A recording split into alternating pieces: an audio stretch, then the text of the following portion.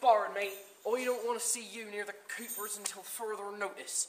We're a family pub with standards, professional standards. Have I made myself clear?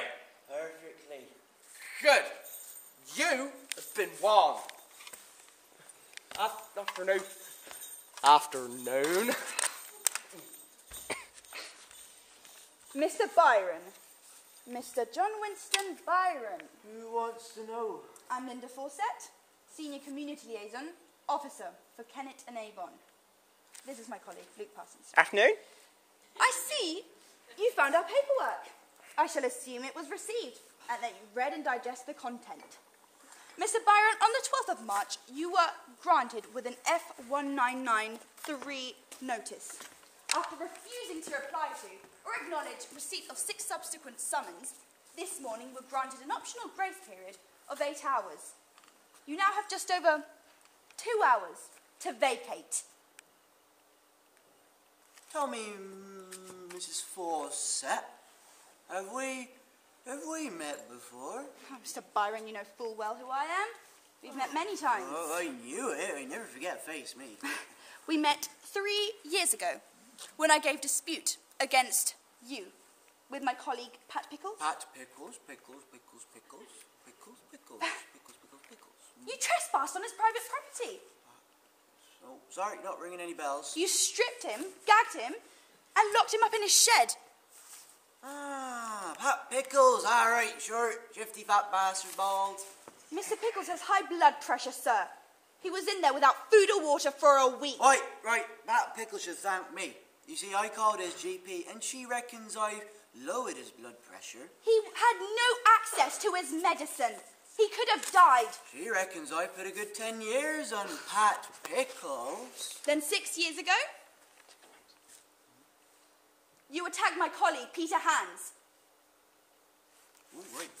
During the Salisbury Festival in the Salisbury Arts Centre, in the interval of Jack and the Beanstalk.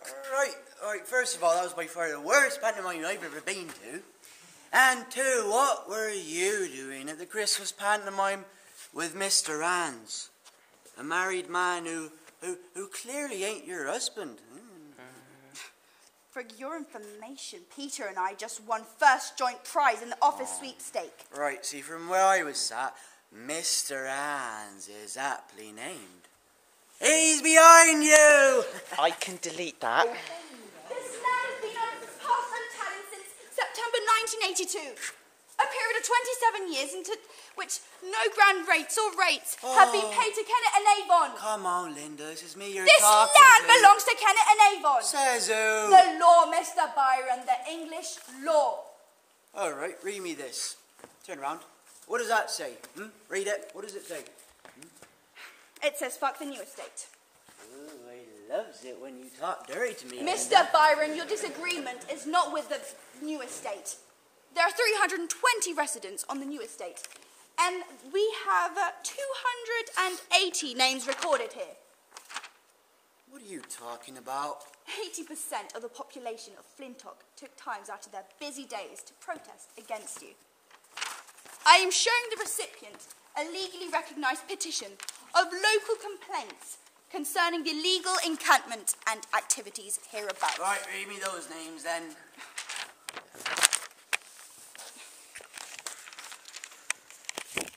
Come on. Francis Morgan Donald. All right, Don and Fran Morgan. Well, Fran and Don Morgan, they think I did them out of this painting two years back in Orr. Olive Phillips, Jessica Harding, Sydney Harding, Darrell Kerr. Right, Darrell, he still owes me a lawnmower from bloody 1989.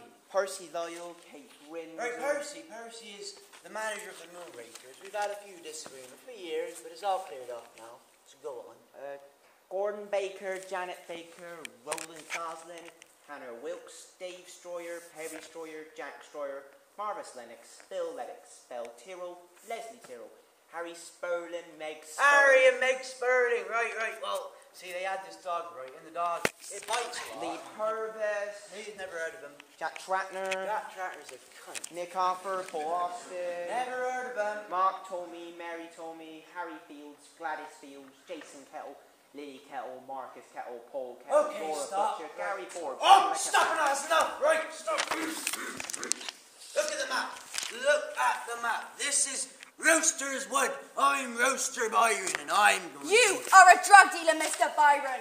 You deal drugs to minors. We have sworn statements.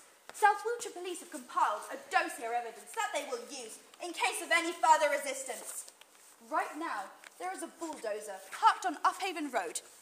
Come tomorrow, it'll be joined by two dozen constables. Mr. Byron, come tomorrow, 9 a.m. If you do not comply to this order, they will be here. They will seize your vehicle and belongings. Your camp will be raised, and you will be arrested. It's over, Mr. Byron. We have you. How many houses are you building anyway? Hmm? Who gets the contracts? Who gets the kickbacks? You're right. Oh, you are. You're right. Kids, they do come here. And half of them are safer here than they are at home. You got nowhere else to go, you come here. The door's open, you don't like it, you stay away. I mean, what the fuck do you think an English forest is for anyway? Hear ye, hear ye. This is Rooster Byron telling all you Kennet and Avon South Wiltshire bandits and Salisbury white wigs, bang your gavels, issue your warrants, take your leaflets and your beatings and your bursar and back up your old poxy sham-faced plot and get, or there'll be blood in the chalk before we're through. This is your last and final warning. Hear ye, hear ye.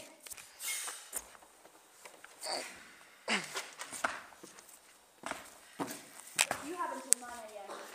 Good day, Mr. Byron. Oh, that really hurt. Oh.